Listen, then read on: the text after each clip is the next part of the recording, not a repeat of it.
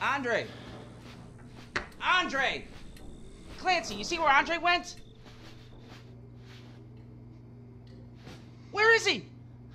Unfucking believable! This is the last time I work with that guy.